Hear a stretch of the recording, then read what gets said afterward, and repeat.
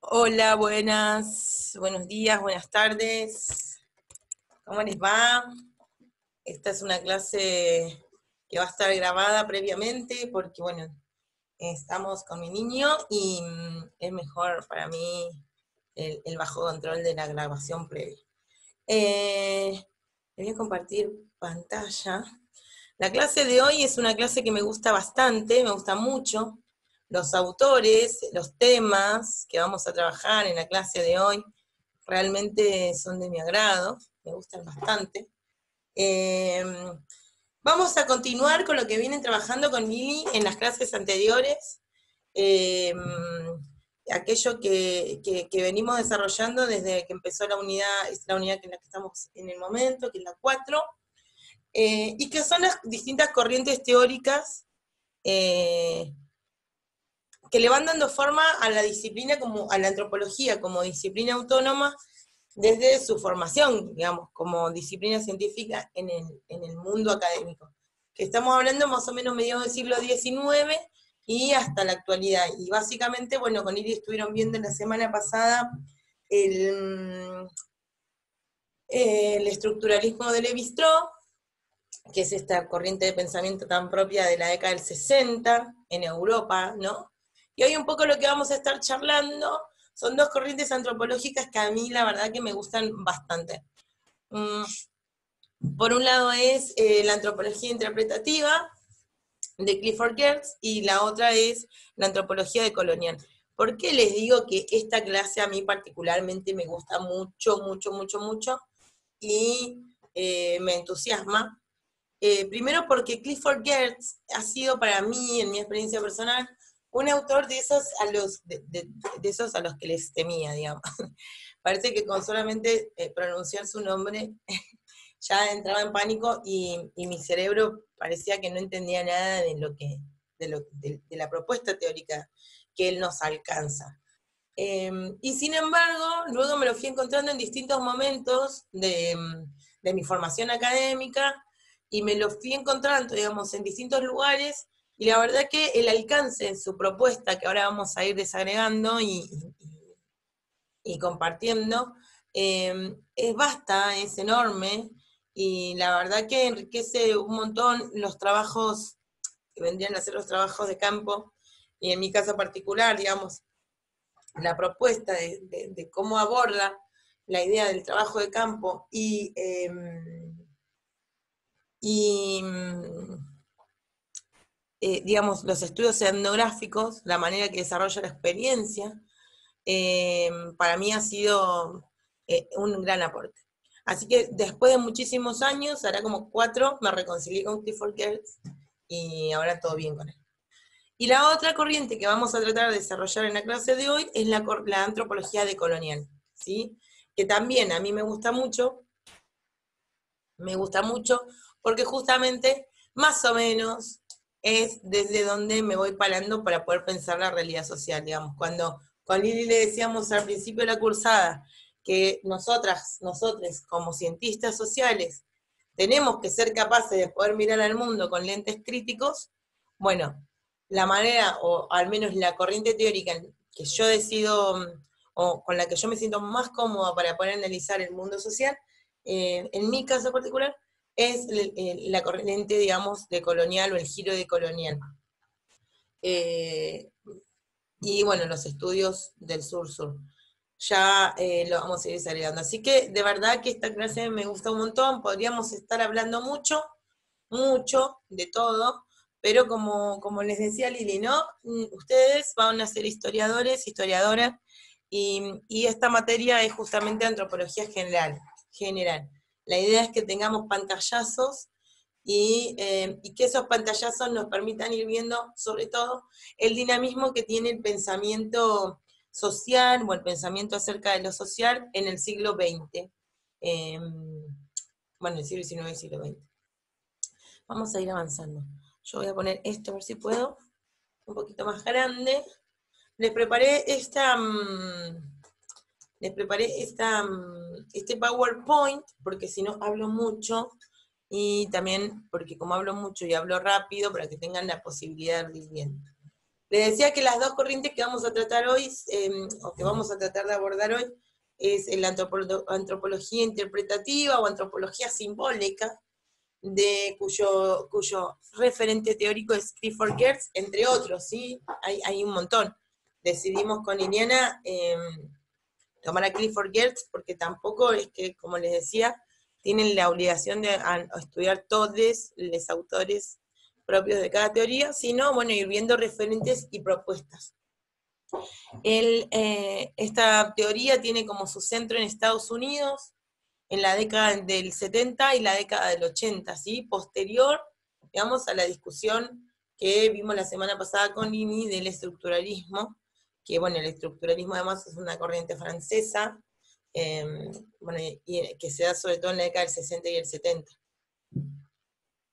Y la otra corriente antropológica es la antropología decolonial, que tiene ahí un, nacimiento y está mamada, empapada también con, muchísimos autores, por eso yo ahí le puse, hoy no vamos a ver un autor particular de, la teoría decolonial, hay un montón de autores, sí, en nuestro programa tenemos varios de ellos, varios de ellos, ya los van a ver, em, lo que sí vamos a ver, después de que yo les presente a grandes rasgos eh, cuáles son como eh, los tres aportes más grandes que da la teoría de colonial al, estudio de la antropología, vamos a ver con Eduardo Restrepo, que es el material que ustedes tienen para esta unidad, eh, la crítica a las antropologías centrales y el aporte de,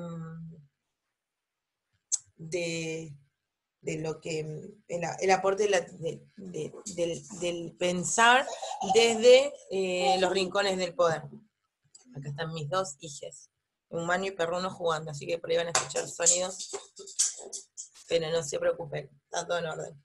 Eh, bueno, yo puse Colombia porque Eduardo es de Colombia. La teoría de colonial en realidad nace de los sures globales, ¿no? Del sur-sur global, de lo que sería Asia, África y América Latina, eh, más o menos en la década del 90, del 2000 en adelante. Eh, vamos a ir avanzando. Empecemos con lo primero, ¿no? Tenemos a Clifford Geertz, como les decía, referentes de esta antropología interpretativa o antropología simbólica. Clifford Geertz eh, nace en Estados Unidos, ahí les he elegido fotos del mismo día. es un bombón ha muerto grande también. Em, bueno, él nace en 1926 y muere en el año 2006. Eh, su título de base, su, formación de grado, digamos, es filósofo. Él estudió filosofía también en, Estados Unidos y luego se doctoró en antropología en eh, universidades bastante prestigiosas en Estados Unidos. Su trabajo de campo lo desarrolló, digamos, en Marruecos, sus trabajos etnográficos, para ser más concreta.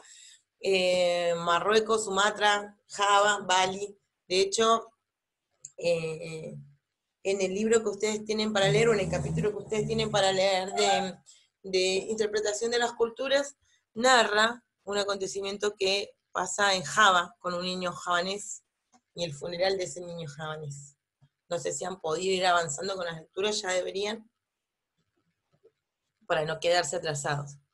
Em, bueno, este Clifford Geertz eh, es considerado como uno de los representantes más eh, influyentes en Estados Unidos sobre los estudios culturales y antropológicos. Realmente su aporte, sobre todo en relación a el trabajo etnográfico, ha sido enorme. Em, bueno, y ahí vamos a ir viendo en muere, grande, les digo, y escribe como, como sabíamos hasta el último rato de su vida, justo muy parecido como con Levi Strauss, que bueno, vivió 100 años igual. Eh, hay entrevistas que le hacen a Clifford Geertz en YouTube, que también estaría bueno que si lo pueden ver o repasar, porque escuchar a los autores de primera mano está buenísimo.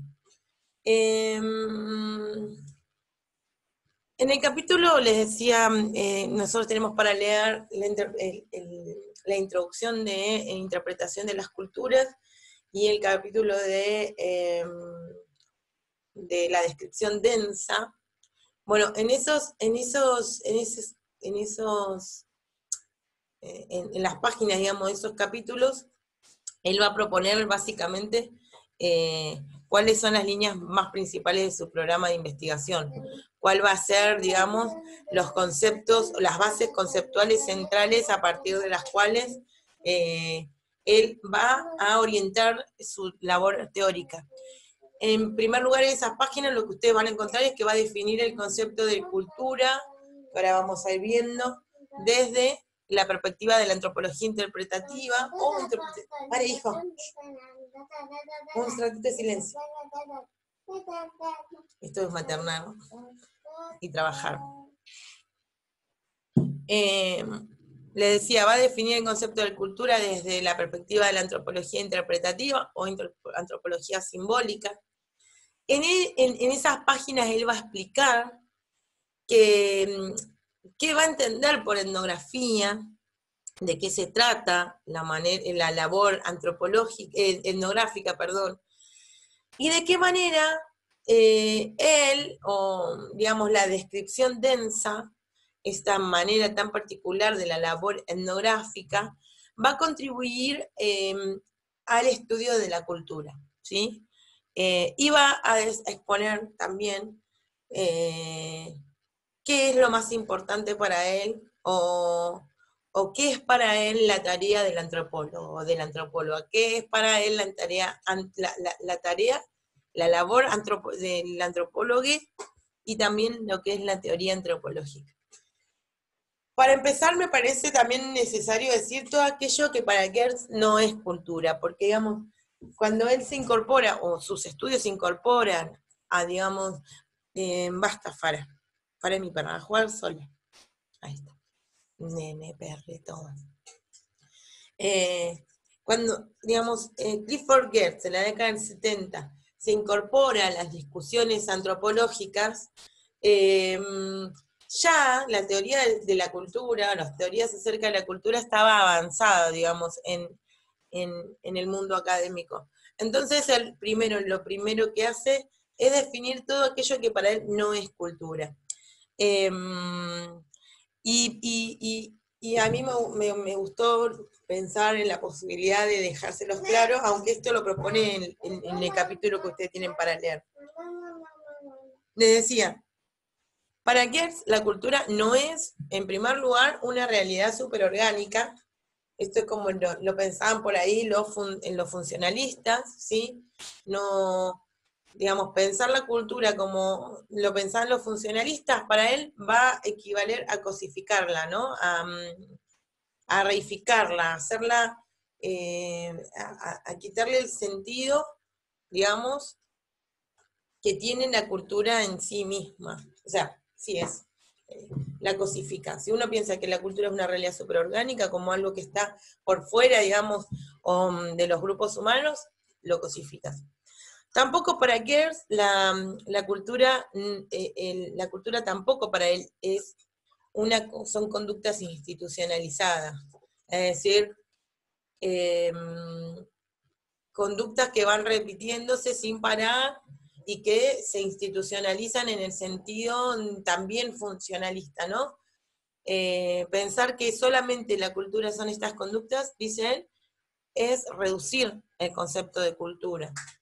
Tampoco la escultura va a ser una estructura psicológica, como lo plantea el estructuralismo de levi con quien él va a estar discutiendo a lo largo de su obra teórica. Porque dice, eh, no es eso la cultura, si nosotros pensamos que son estructuras inconscientes que, solamente, digamos, se instalan en las comunidades, supone reducir, eh, psicologizar la cultura, ¿no? Eh, y por eso están los psicólogos, ¿no? El del inconsciente. Y tampoco, dice él, la, mm, perdón, tampoco la, mm, la, cultura son sistemas simbólicos propiamente dichos, ¿no? Eh, no son solamente sistemas simbólicos em, en, los términos que él plantea. Eh, yo lo puse ahí en sus propios términos porque bueno, justamente él va a plantear que sí son que hay algo ahí de lo simbólico, pero que no es así, tal cual, sistema, solamente sistema simbólico.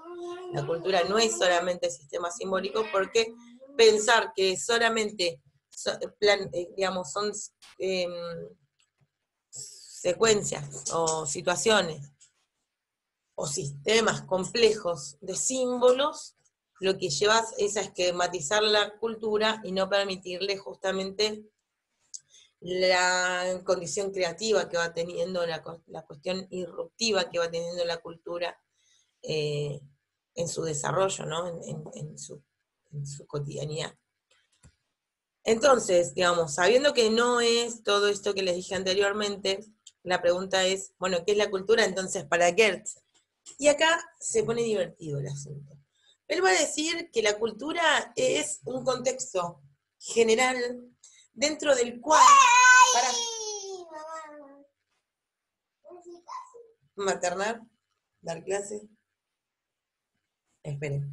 Yo decía, la cultura, eh, la cultura va a ser un contexto, el contexto general, dentro del cual van teniendo significados, es decir, van siendo interpretados, digamos, las distintas, los distintos acontecimientos sociales van sucediendo y a la vez van cobrando significado y a la vez que van teniendo un significado, un significante, van a ser interpretados por los distintos actores sociales que son partes de ese, de ese contexto. Pare, hijo, pare.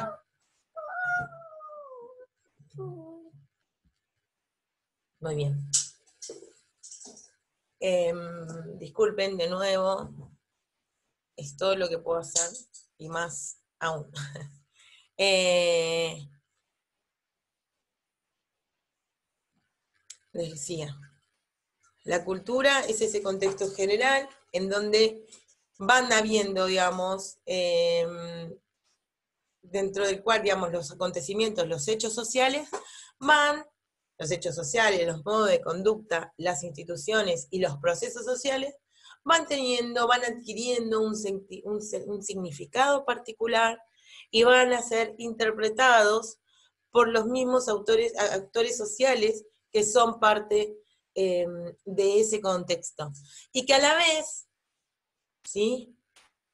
Una, o sea, está el contexto general en donde se pasan, donde se desarrollan los, em, los acontecimientos sociales, los modos de conducta, las relaciones y los procesos sociales son interpretados por los mismos actores sociales que participan en ese proceso social y que a la vez también pueden ser interpretados por los antropólogos o las antropólogas que pretenden estudiar esos procesos sociales. Em,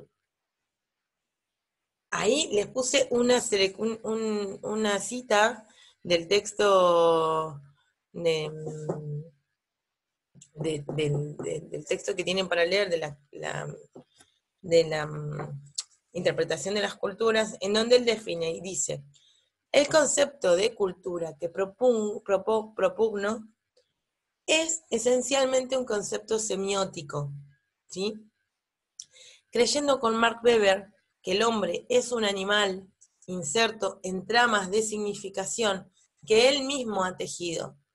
Considero que la cultura es esa urdimbre que, y que el análisis de la cultura ha de ser, por tanto, no una ciencia experimental en busca de leyes, sino una ciencia interpretativa en busca de significaciones. Lo que busco es la explicación, interpretando expresiones sociales que son enigmáticas en su superficie. Eh, ahora vamos a ir viendo esto, a mí me, gusta un montón. Primero, ay hijo, perdón. Vale, papito, porque estoy hablando con las chiques, dando clases, no me pueden escuchar.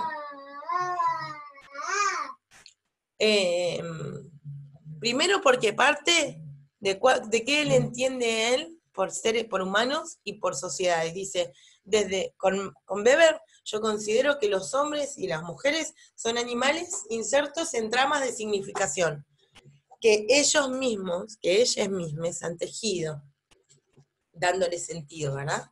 Eh, y que a la vez la cultura es justamente ese lugar en donde, digamos, eh, en donde, eh, digamos, ese lugar que sostiene a esos hombres y esas tramas de significación.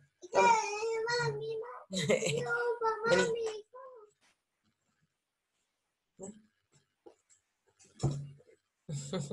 Hola.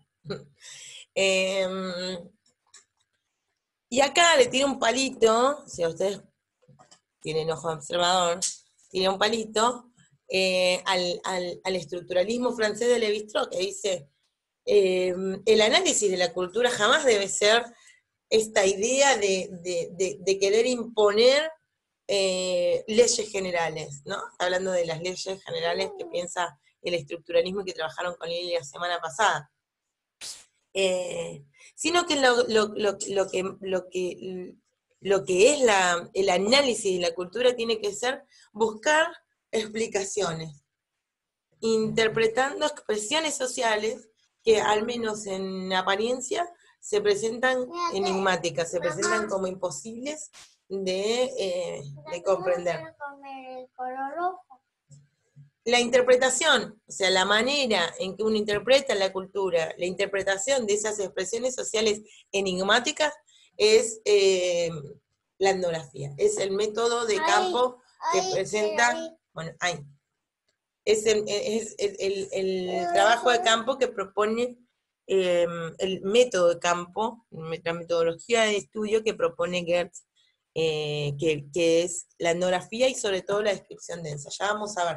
¿Qué dice de la etnografía? Vamos con la clase, no sé cuántos minutos. La etnografía dice consiste en realizar descripciones densas. Para hijito. Em, dice, eh, él toma la expresión, hijo, él toma la expresión del filósofo del lenguaje, Gilbert Wright.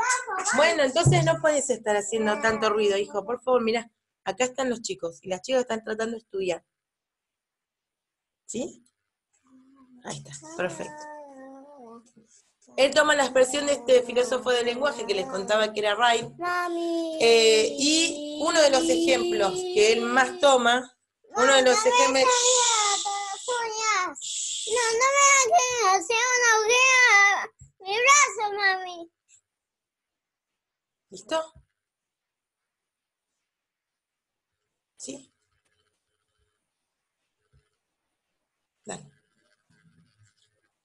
Oh, eh, uno de los ejemplos. Mami, mami, ¿se movió? Mira, yo tengo que hablar acá. ¿Sí? Vos me dijiste que vas a portarte bien. No. Eh, bueno, uno de los ejemplos, disculpen, pero bueno, de esto se trata, trabajar en casa. Eh, si nosotras no nos ponemos a visibilizar estas cuestiones, no la visibiliza nadie. Eh, y, así es maternar y trabajar, que no ha sido una tarea fácil para ninguna mujer en ningún tiempo. Eh, les decía que él toma la expresión de descripción densa de Gilbert Wright, em, y uno de los ejemplos que más, digamos, trata o que más eh, em, utiliza para explicar la cuestión de la descripción densa es el tema del niño del ojo. Dice, uno puede ante, estas, eh, ante esta movida, ante esta expresión, entender dos cosas. En primer lugar, puede entender que es un acto eh, involuntario, un acto reflejo, em, propio de algunas, de algo que le esté pasando al cuerpo eh, humano. Esta sería, digamos, em, o también puede entenderlo, digamos, como un acto comunicativo cargado de significado. ¿sí? Vos puedes estar diciéndole así a alguien y estar diciéndole desde un juego de truco y desde expresar, em, desde expresar, digamos, em, complicidad, eh, estar, digamos, diciendo algo en especial. Yo no, no sé cuál es el truco, pero algo debe significar eso. Algo significa. Eh, también, em, digamos, puede ser una cuestión de, se le decía, complicidad. Bueno, me distraje un poco con la cuestión del niño, disculpen. Em, entonces pueden ser dos cosas, ¿sí? Puede ser una cuestión muy simplista, ¿sí? Puede ser una cuestión muy simplista. Eh, puede ser una, una, una, eh, una descripción superficial, y también la descripción densa. y- oh, No. Así vos podés escuchar tu video y yo puedo dar clase. No. Bueno, vení. Eh, entonces puede ser una cuestión superficial, ¿sí? Puede ser una cuestión superficial, o puede ser una cuestión, em,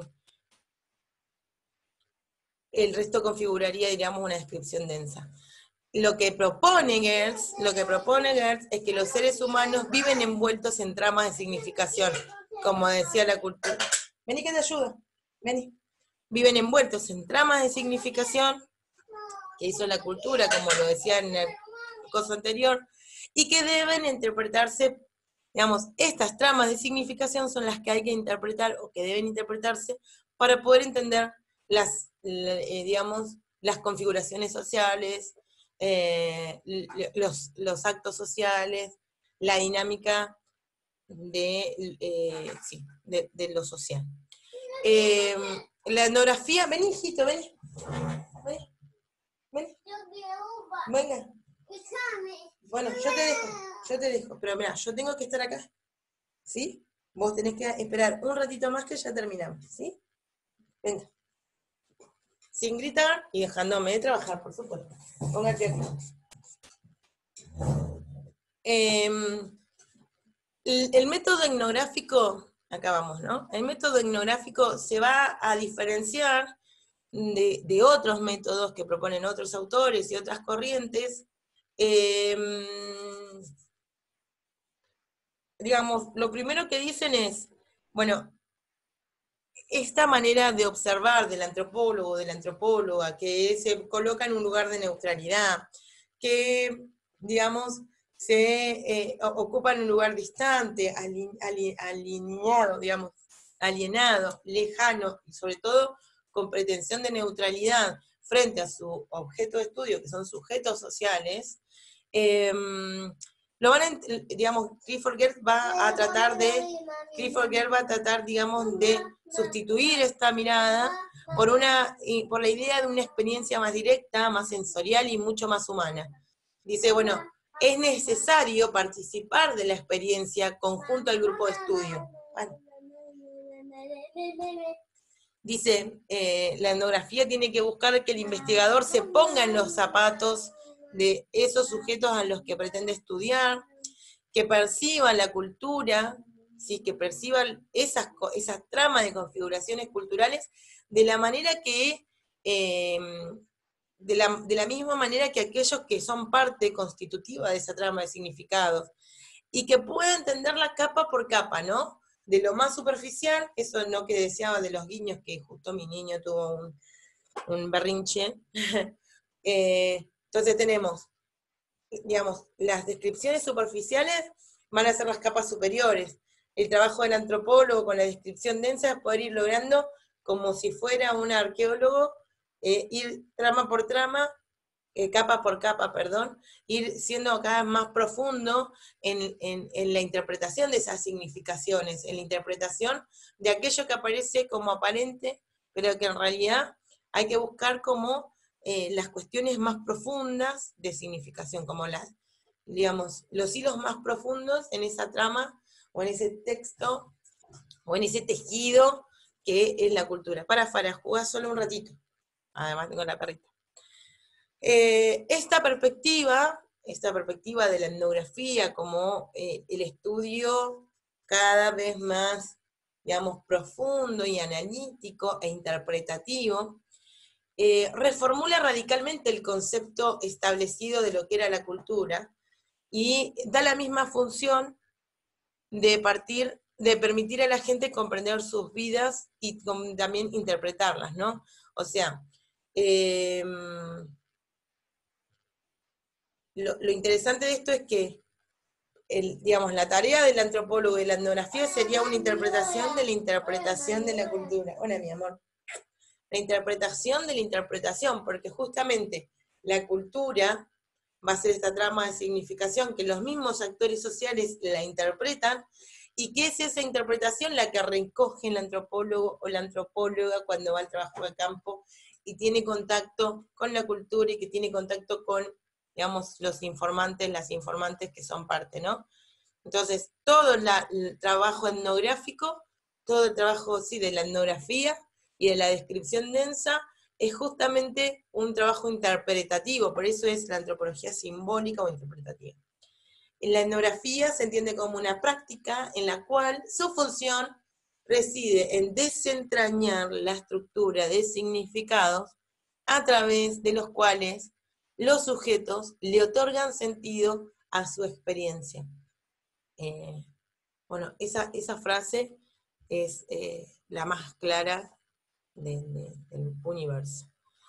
Eh, a través del análisis interpretativo, se puede, el, antropólogo, la antropóloga puede recorrer la cadena de interpretaciones que han tenido los actores, los agentes sociales, y pueden desentrañar cómo ha sido elaborada esa cadena de sentido. Yo aquí le puse mm, dos citas, que bueno, se las voy a dejar como por acá para que puedan leerlas, eh, que también las saqué de las descripciones densas, cuando vean el video pueden poner pausa y leerlas, eh, así no agoto el tiempo.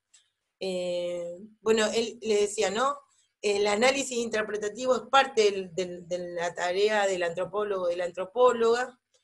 Es a partir del análisis interpretativo cómo se puede recorrer, recorrer y reconstruir la manera en que se fue significando una experiencia social. Eh, y justamente las descripciones densas, las etnografías, son el producto de los antropólogos y las antropólogas que, como les decía recién, son interpretaciones de interpretaciones de la cultura. Acá les dejo esas dos citas para que puedan recorrer. ¿Cuál va a ser para, para Clifford Geertz entonces la tarea eh, del, antropólogo? ¿Qué lugar va a tener la teoría antropológica para la antropología mm, em, eh, interpretativa o simbólica? Él dice que eh, hola, mi amor. Clifford Geertz piensa que, una teoría general de la cultura es una ilusión, es pura quimera, es somero, es imposible. Esto es un palito para Levi-Strauss, ¿sí? En donde Levi-Strauss buscando leyes generales a lo largo, digamos, de todo, de todo el mundo, eh, y el estructuralismo tratando de buscar leyes generales, y él dice, bueno, no, pensar leyes generales o teorías, o plantear teorías generales para interpretar la cultura es una pavada, es, no se puede hacer. Eh, y justamente, ¿por qué? Porque la antropología se tiene que desarrollar teóricamente mediante la elaboración de descripciones densas, hermano, es lo que viene a plantear, ¿no? Eh, solamente a partir de descripciones densas que podemos conocer la cultura y que podemos justamente elaborar teoría. la única manera de elaborar teoría sobre la cultura es llevando adelante descripciones densas. Eh, desde esta perspectiva, la única alternativa viable para desarrollar teorías antropológicas es la inferencia teórica. ¿Qué es esto? Es analizar las consecuencias teóricas de lo que eh, el trabajo de campo te provee. Entonces vos vas al trabajo de campo, investigás, observás, luego llevas adelante una descripción densa, tratando de ir capa por capa desentramando las significaciones de cultura, para luego volver a tu casa, volver a tu laboratorio, volver a tu escritorio y tratar desde los, los resultados obtenidos en los trabajos de campo, poder llevar adelante inferencias teóricas, es decir, poder tratar de elaborar teoría. Entonces, él va a proponer que las teorías antropológicas no pueden ser en ningún caso predictivas, de ninguna manera pueden tratar de predecir, porque eso, digamos, Em, es biologicista y es imposible.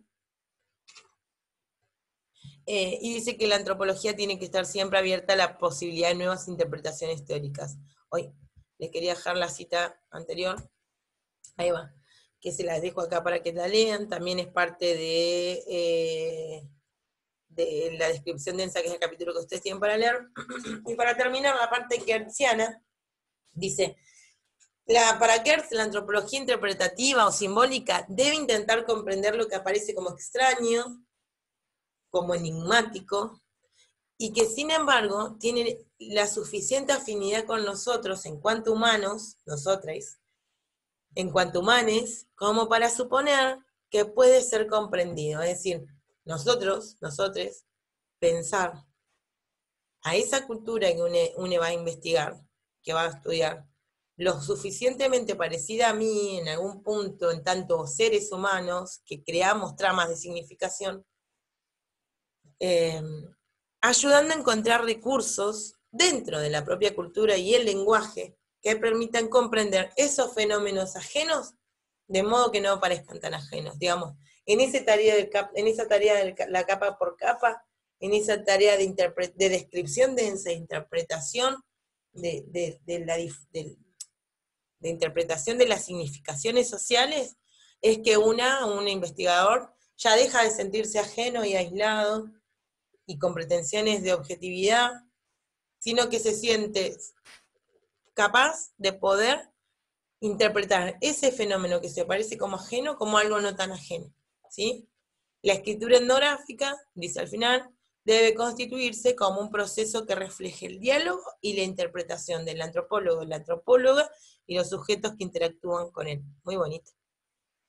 Bueno, hasta acá nuestro querido amigo Clifford Geertz.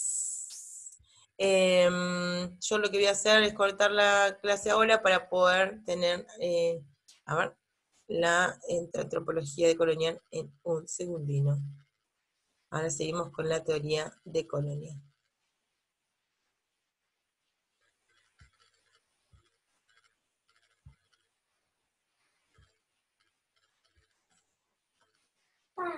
mamá.